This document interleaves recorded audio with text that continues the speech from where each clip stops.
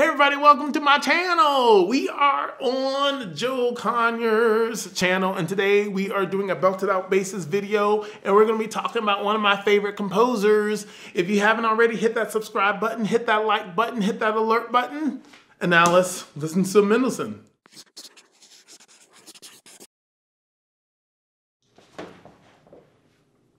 Hello. um, it's been a while, I know. I've been very busy with concerts, with the orchestra, nonprofit work, All City Orchestra, Boston University Tanglewood Institute. It's been a lot. Juilliard. It's been a, a, busy, a busy period, particularly after the holidays. Getting everything caught up. It's been nuts. But I'm back. I am doing a Belt It Out Basses today. It'll be my first post, playing post of 2021, and I'm doing it on one of my favorite composers. His name is Felix Mendelssohn. Um, this is from his third symphony, the Scottish. But something always bugged me about the Scottish symphony because, you know, there's like the first symphony, the, which most people don't know offhand. I know a little bit of it. One of them has like, I think it's number two, that's got the choir and a big hymn. I can't, I think it's number two. But three, four, and five are by far Mendelssohn's most famous symphonies. And I, even when I was a student and I learned these, I was like, like four and five just seem so different um, than three. And I'll tell you why. Because the fourth symphony was is light, to get really, really light and has this freshness to it. Reminds me of early Herb Mendelssohn. We, we all know Mendelssohn was another genius composer. He was writing really intense music at very, very young ages. So uh, at 15, he wrote the famous, the famous, what do they call it? Is it a viola quintet? Is it a viola quintet because it's piano? But it's a piano. I don't know what they call it because it's got one violin. I'm gonna see if I get this right. Two violas, cello, bass, piano sextet, um, or viola sextet. It's the sextet. That's right, the Mendelssohn sextet. I played it many times. I have a recording with uh, Chamber Music Society of Lincoln Center, which is actually available. You can get that. That's a, that was a really fun performance. Anyway, I digress. He wrote that piece when he was 15, and you can tell Mendelssohn was flexing the whole way. I know his name is Felix, but he changed his name to Flex Mendelssohn, like like hardcore. Uh, flexing some serious compositional muscles. And for those of you who are not bass players, who might be listening, string players, and might know the very famous octet. Mendelssohn wrote that octet when he was 16 years old. 16. The piece is masterful. It is literally, it is masterful. If I did one piece, if I wrote one piece like that in life, I would, I would be a very happy person. And Mendelssohn did that at the age of 16. So Mendelssohn was a very accomplished, very um, virtuosic, and um, definitely genius composer. And it's so interesting because I think he, he's like Mozart but different. It's just different, I, and I, that's the best way I can describe it. Um, uh, and I actually describe Felix Mendelssohn to be the Rachmaninoff of his time because his melodies are so sweeping and lush and sweeping and lush really, really just gorgeous writing, particularly coming out of the classical era. And it, like the, he, um, he takes like the delicacies of the classical period and really goes nuts with kind of looking into the future of what romanticism might be and how that would affect his music. It's just it's just genius in every way. So anyway, back to the symphonies. So the fourth, really great piece. Um, very exciting, but for me, kind of light, even with the last movement. And in the fifth symphony, it's also another great piece of music but it's also to me a little lighter. It's like it's, when I say lighter, it reminds me more of classical. It's just a little classical in nature. Whereas the third is all of a sudden much darker and way more musically, to me, mature. Not to say that his music beforehand was not mature, but the music of the symphony, of the third symphony, there's a darkness and a richness to it that to me goes beyond the symphonies that came before. So that always bugged me. Is like, why is that number three? Until I was in history class one day, music history class, and learned that the symphonies of Mendelssohn were published out of order.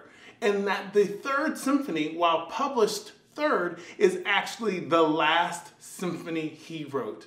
And then it was like, ah, it all made sense. So yeah, the, the ordering of Mendelssohn's symphonies is, is out of order. So I think it's one, two, four, five, three. I think that's the order they were written. So for Belt It Out Basses, I was looking at this tune and after the opening, this opening beautiful chorale, da dee da dee da dee, whatever. I mean, yeah. And after the the uh, they they um, create they set the mood, the woodwinds da da dee da da da. The violins come with this very impassioned. This to me makes it very different from all the symphonies right away with this.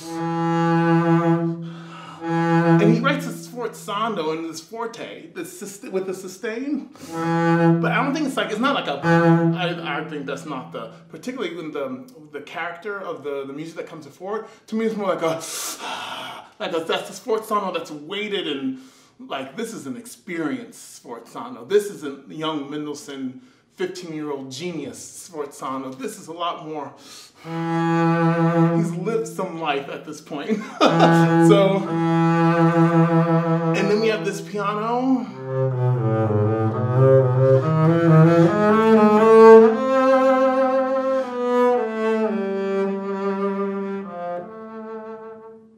So even to me, that theme is so beautiful, so haunting. This because we have this piece in A minor like that there's something in this. And then we're definitely on a search. He reaches to this third in A minor.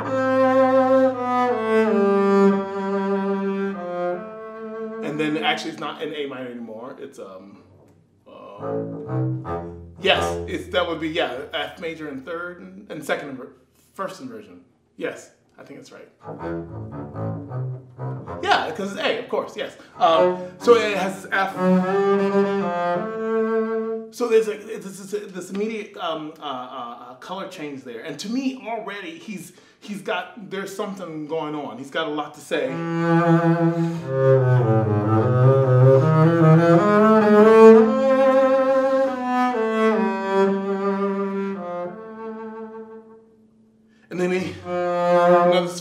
Sforzando uh, forte, then piano, crescendo, back to forte, piano, crescendo, to forte, to piano, and that's the lick I'm going to play.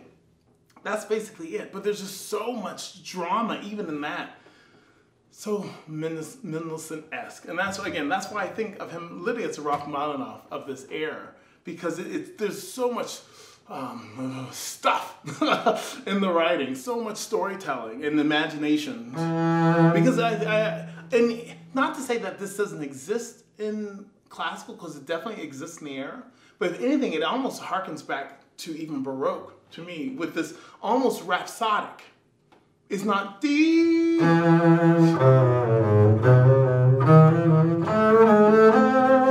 mean, I, it's not. It's but even though the, the, that's the time, I think it's a little bit more.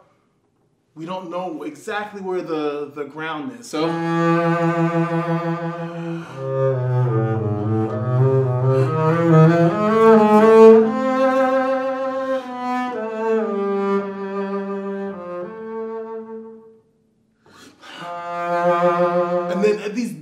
Contrasting dynamics with this sforzando. Piano. Piano.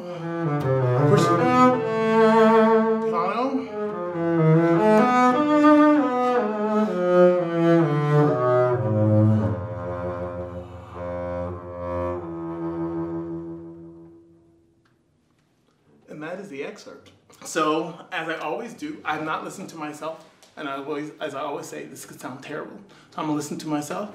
So, um, it sounds fine. I just need to play it in tune, all that fun stuff. But for me, it's actually making sure I have give give direction, have a place to go. So I do that, and then don't get too loud too soon.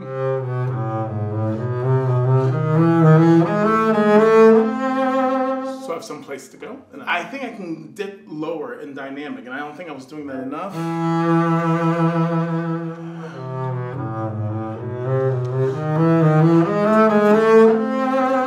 contrast.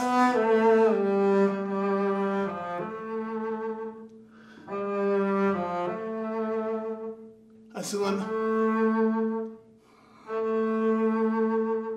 I can get that color right to the end of the note. That's what I'm really shooting for.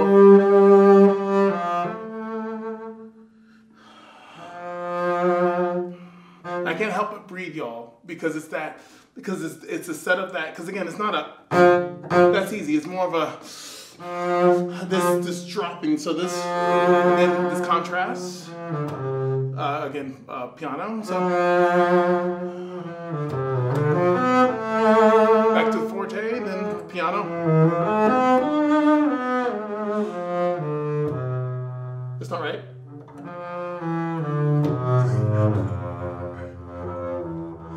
Get the picture. I think I'll get something that that works. All right, let's make some recordings.